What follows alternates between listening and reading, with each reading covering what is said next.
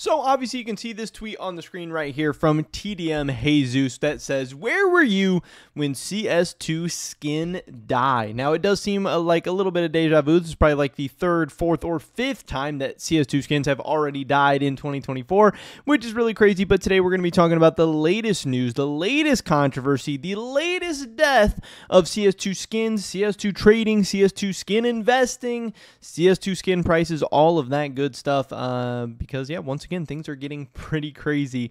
Uh, and I don't really know what's in store for the future, but I know that uh, hey, things are probably not as bad as most people are saying, but we'll have to wait and see. But first, I uh, just want to mention real quick if you uh, maybe think CS2 skins are dead and you're looking to sell any of your items or cash out your entire inventory or whatever, definitely hit me up over on Twitter. First link description below. I'm buying uh, pretty much anything and everything for the right price. I can help you cash out safely, effectively, efficiently, all that good stuff. You don't have to worry about getting scammed or any other weird stuff going down.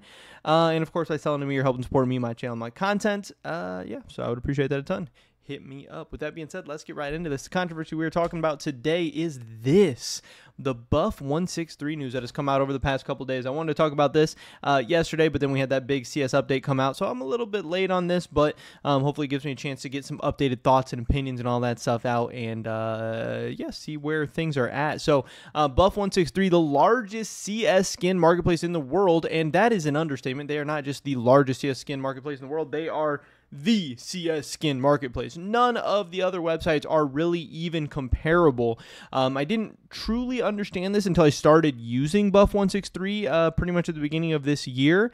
Uh, the volumes and the amount of users and the amount of money and the amount of sales going through Buff 163 is insane. Um, eh, the volume, the liquidity, everything compared to any other marketplace is it's not even a comparison. There's Buff 163 and there is everything else. If you think or love Float and think that it's super active or Buff Market or Skinbid or GamerPay or Skinport or whatever, none of these things are comparable to Buff 163. And because of that, you could sell anything and everything on Buff 163. You could sell the cheapest nothing item, sticker, whatever and you could sell the most expensive niche items. You could sell stuff with rare floats, rare pattern patterns. You could sell um, stickers, you know, crafts. You could sell agents with patches. You could sell anything and everything. Um, you know, uh, there there was everything. And now, obviously, a lot of those sales, a lot of that liquidity is going to get spread out all over the market, which is good and bad, but I really do think it's mostly bad in a lot of ways. But we're going to get into a lot of this news, whatever. But anyway, Buff163, the largest CS2 skin marketplace. I don't want to get ahead of ourselves here. Um, will now no longer let anyone without a Chinese bank account sell skins, or not just sell skins, sell any CS items. Last week, we saw them no longer allow case listings likely to shield themselves from gambling. Now they're completely stopping anyone from using the site without an Alipay wallet or Chinese bank account. Unless cash traders find a way to verify their account, I believe Western marketplaces are about to see an explosion of customers. Now, again, not only are we going to be seeing an explosion of customers onto Western marketplaces, we're also probably going to be sell- seeing an influx of people heading to cash traders. So, again, if you are looking to sell your items and you would have previously been selling on Buff 163, hey, hit me up. Hit one of these other people up because there is a lot of people out there with cash that are going to be looking to buy and sell skins uh, from you, especially now that, again, Buff 163, the place to sell skins previously for a lot of people in the world, is now out of business. Now, there are still some other good peer to peer marketplace options, but there's some items um, that especially if you want cash fast, you're going to be best off going to a reputable trader, you know, a YouTuber, a content creator, somebody out there, a big person on Twitter. Um, but yeah, obviously this is going to get very, very, very crazy. Um, if you have balance on the site right now, you should be okay as you can still use a balance, but you can't uh, sell any more skins. Now, obviously, when I first heard that Buff 163 was having problems and was shutting off from Westerners and blah, blah, blah, I had a mini heart attack. I have a lot of Buff balance. I have a lot of money on Buff. I am a cash trader. I am a person who is a big investor and a big seller. I, uh, you know, quietly and secretly, maybe even more than a lot of people would know, have a lot in sales. You know, for how small my channel is and how small my Twitter account is, and whatever, I feel like we get a lot of items coming through. I have had pretty crazy inventories and collections and all this stuff. And okay, my cat is like knocking down the blinds right now. Get down. Um, so yeah, despite how small I am, I, I, have a lot of stuff going on, and I have a lot of balance on the site. And I, you know, if hey, if I lost all my buff balance, whatever, I would be okay at the end of the day. I'm not going to be bankrupt. I'm not going to be homeless, anything like that. But it would be a, a amount of money that would be gross to lose and I would be pretty upset about, and it would be hard to bounce back and recover from. Um, but it does seem like, at least for now, buff balance is safe. Now, a lot of us are going to have to decide what our best path uh, forward is to do with buff balance. Obviously, if somebody who has access to buff and still wants to continue to buy stuff on buff wants to uh, buy some of my balance, I would love to sell to anyone out there. I have, uh, you know, any amount of buff balance that you would ever want, I am able to sell to. Um, but my other options are one, spending that buff balance on just investing. You know, I can just buy a bunch of investments for my portfolio. But hey, do I really want to put all my buff balance into investments? No, not particularly because uh, you know some of my buff balance is uh, my own personal cash and money. It's not money that you know I keep my business and my investments very separate. Um, so it's not money that I was all planning on using on CS investments. But if that's what I have to do, it's not really the end of the world. Or I can buy items to then try and cash out on another one of these websites. Um, but again, I think a lot of people are going to be doing that. So I could really even see prices going down uh, across the market just because people are scared and worried about this news. Um, but also prices going down on the Western marketplaces because I think they're going to be flooded with a lot of people who are buying items on uh, Buff 163 right now and trying to sell them on other sites to get rid of their buff balance. So, if you're somebody who is an investor or just somebody looking to buy cheaper play skins or skins or items or whatever, this could be an awesome opportunity to maybe do that on, on some other sites right now. Um, but yes, this is very crazy and very interesting and weird news. Now, obviously, this is the big asterisk. And I know so many people out there are like, whenever you talk about China, whenever you talk about the, the weird different strange stuff that goes on in China, people are like, "Oh, you're being racist. You're being blah blah blah." It's like, no, this is another uh, key example of the weird stuff that goes on uh, in China and the weird decisions that a lot of their businesses make or are forced to make with whatever rules and regulations they have going on. You know, now is this just new rules and regulations being implemented by the Chinese government? Is this pressure being put on by the Chinese government? Is this just some random decision they decided to make? I doubt it because why would Buff 163 this site and business that has an opportunity to have an absolute stranglehold on the CS economy and markets for years to come, uh, a multi-billion or not billion, a multi-million dollar business, uh, why would they just choose to shut off, you know, half of the world and, and a large part of their customer base or whatever? It doesn't make sense.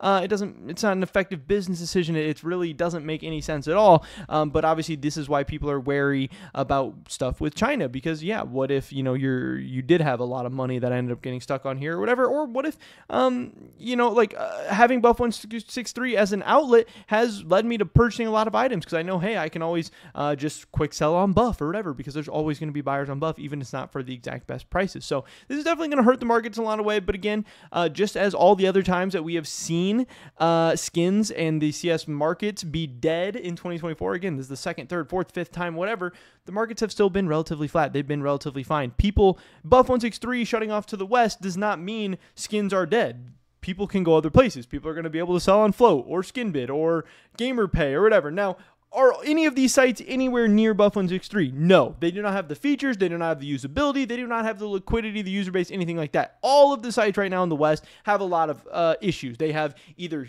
they're ugly, they're hard to use, they're confusing, they look like shit.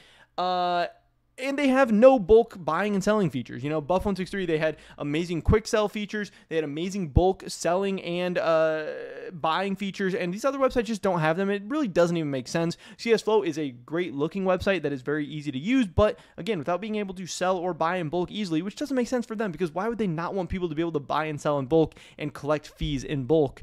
Um, it doesn't really make sense. But a lot of these other sites like Skinbid uh, and GamerPay and these other ones, like they, they just look like trash. The UI is horrible horrible. It's hard to use. It's very confusing. It's ugly. And they still don't have those bulk buying and selling features. Like there is not a clear cut winner uh, in the West right now for where these things are going to go. Uh, and the reason is none of these websites are really all that good right now or have features that the market needs and that people who want to do all this stuff need. Um, I'm surprised I don't follow this guy, but some of the reactions and stuff here is uh, this guy uh, Miu. He said, "Okay, never mind. I just got news that you cannot even top up with someone who has uh, Chinese Alipay in your Buff account does not have Chinese ID tied to it. So you're correct. There'll be an explosion of people using international markets. We can only hope there'll be enough people bridging the markets together, being Twitter cash trades. We also had Zipple talking about this. He said Buff can no longer be used by Westerners. This comes after what must be speculated as regulatory demands. First case get removed, then non-Chinese users. This means that balance you already have uh, can be spent with no expiry, at least not planned yet." Again, if that balance did expire, that would be really disgusting, and people would get fucked out of thousands of dollars. Balance transfers might not uh, might be accepted for a temporary time. Uh, Buff said it's reviewed user to user. Some users uh, may still be able to sell, however, you will lose this ability. Changes just rolling out slowly. Uh, and he also says we are uh, obviously welcoming all Western Buff users to SkinBid, and if you have a lot of uh, skins, DM to discuss potential partner fee structure, automation, and other things we can offer. SkinBid has the nicest staff, but also overshadowed by bad fees and lack of crypto withdrawal. Uh, and Zipple says, yeah, they don't, uh, they're not the best site for tax evaders. He said, anyhow, crypto will be added in the foreseeable future with know your customer required. Uh, fees are not possible to have lower, competitive enough as is. 8%, uh, I would not necessarily say is all that competitive, and I do think the fees are a little bit bad, uh, especially just yeah, I don't know. Like I said, I have issues with all the Western sites. I don't want to ramble too much. Uh, Nalo said this. He said interesting by Buff. Not entirely sure what issue that solves, but IT shouldn't have much of a long-term impact on the markets. Many Western marketplaces already had comparable prices. Bulk listing is going to be a big topic coming up. If you're not caught up, you can't sell on Buff if you're a non-WeChat Alipay user, which effectively bans anyone that isn't from China. Pickle here. He says I don't think we can confidently say uh, it won't have a long-term impact. This will affect high-end crafts and skins, even in the non-Chinese market. Uh, Twitter users are far more more likely to buy high end crafts for regular players. I think we're going to see a market shift on these higher end items that are mostly bought by Chinese users. Again, I don't even necessarily think it's just uh, the high end stuff. I think it is also um, the illiquid stuff, which is not always high end. Um, but yes, things like crafts, all kinds of crafts, Kato crafts, um, DreamHack crafts, um, like I said, low flow, high flow. It's just illiquids are, are going to be much harder to buy, sell, trade, and all that good stuff.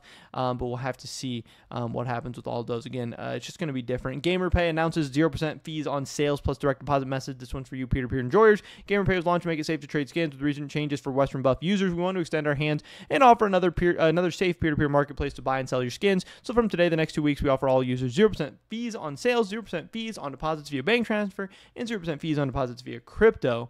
Um, so yeah, I don't know. This is uh, what's going on right now. Again, do I think skins are dead? No. Do I think that the community is going to have to change and adapt yet again? Yes. Do I think all this is getting exhausting? Yes. Does all this increase the risk and the uncertainty in the markets? Yes. And is that bad for uh, increase, increasing skin prices? Yes, absolutely. So again, in the long run, I think things are okay. If skins do dip, I would be buying the dip.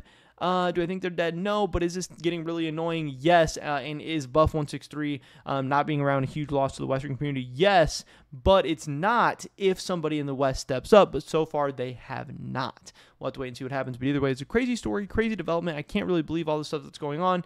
Um, but here we are yet again talking about uh, is the CS2 skin market dead? Uh, we'll have to wait and see what happens next. But that's pretty much it for this video today, guys. Hopefully, catch you in the next one. Until then, peace.